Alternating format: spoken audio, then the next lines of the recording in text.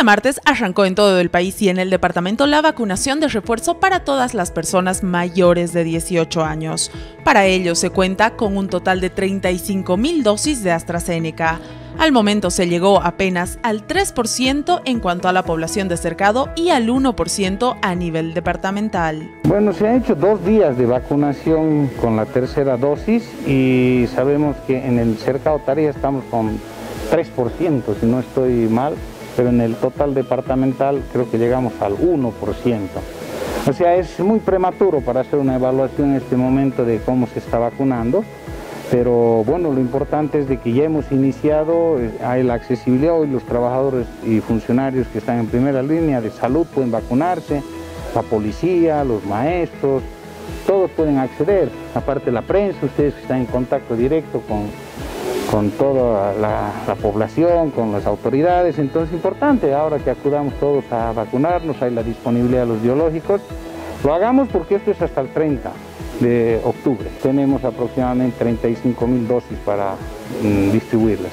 Solamente en mayores de 60, en Tarija son 20 mil. Las personas que deseen recibir la dosis de refuerzo pueden hacerlo presentando en cualquiera de los centros habilitados su cédula de identidad y haber recibido la segunda dosis hace al menos ocho semanas. Justiniano señaló que no existe incompatibilidad de la AstraZeneca con ninguna otra vacuna. Estamos hablando de cuando han completado el ciclo de vacunación. Eh, el Ministerio no ha precisado qué tipo de vacunas podrían estar exentas de esta eh, tercera dosis. Está claro de que las personas que hubiesen completado el esquema de vacunación después de ocho semanas pueden acceder a su eh, tercera dosis de refuerzo. En el caso de la monodosis, eh, la, Johnson es una, una, vacuna que utiliza un adenovirus y es muy parecida esta monodosis a la Sputnik, que evidentemente tiene un refuerzo. Desde la red de salud de Cercado señalan que en este municipio la población vacunable sería de cerca de 180 mil personas, por lo que piden que se presenten lo antes posible, pues se dispondrá de un total aproximadamente de 19 mil dosis distribuidas en 45 centros habilitados.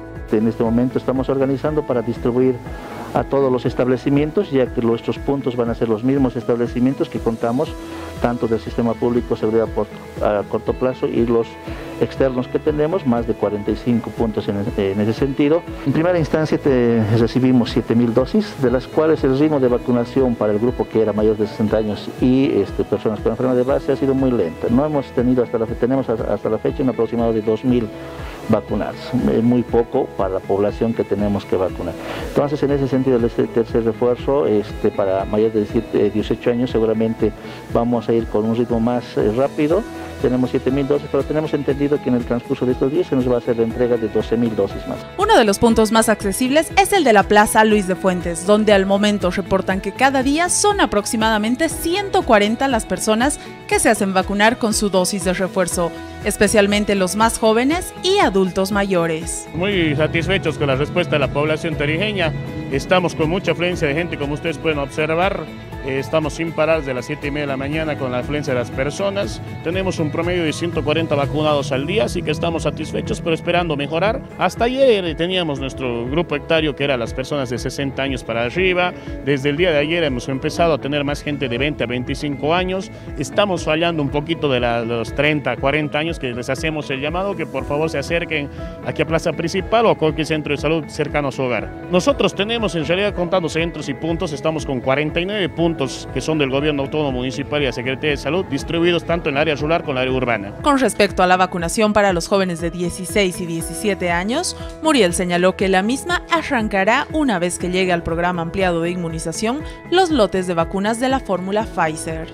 Todavía no, si bien ya se tiene el instructivo, ya tenemos nosotros la población identificada para estos grupos, ¿no? de 9.000, ¿no? por lo menos en cercado.